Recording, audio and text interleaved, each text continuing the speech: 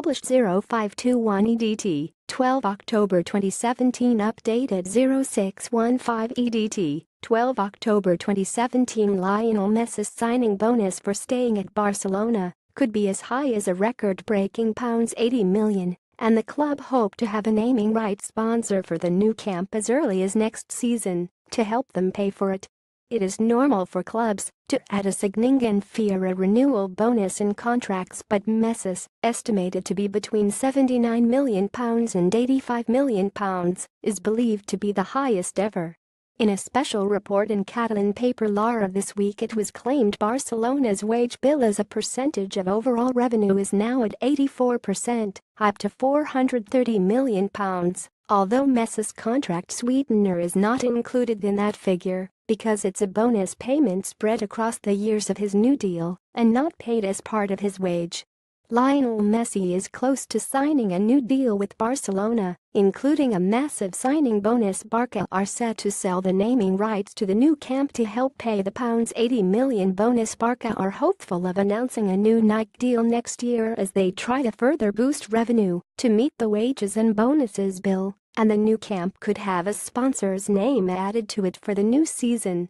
Work on the new Camp Nou is not scheduled to start until 2019, but the stadium could be given a new name as early as 2018 with the company Van Wagner already studying the field of options. The club could put the potential new sponsor's name to directors and supporters at the start of the new year. Any deal would involve a brand name being attached to the club stadium for the next 25 years and raise up to £179 million. Because of Messi's hat-trick against Ecuador this week Argentina will not need to play our World Cup qualifier in November. They may still organize friendlies for next month, but there is an increased chance that Messi will have a potential window of opportunity to sign his new £500,000 per week contract in the next international break. A stadium-sponsored deal would last for 25 years and could raise as much as £179 million. Messi could put pen to paper on his new contract with Barcelona during November. His fresh terms will tie the forward to the Catalan club until the summer of 2021. Messi is pictured during his first year with the Spanish Giants in 2004. The deal that takes him to 2021 with the club has already been signed by his father Jorge and his brother Rodrigo, but is still missing his signature.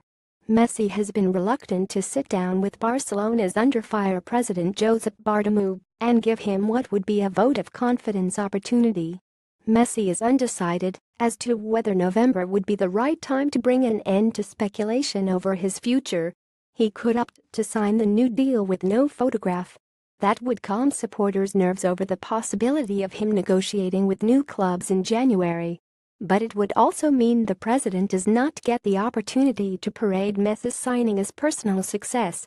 Meanwhile, the club's chief executive Oscar Grau has been criticized for saying Barcelona have the money to sign Philippe Coutinho in January.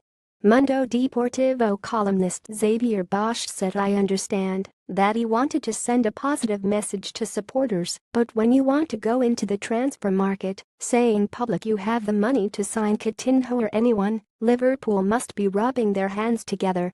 Messi has recently been in action for Argentina, helping his country qualify for the World Cup.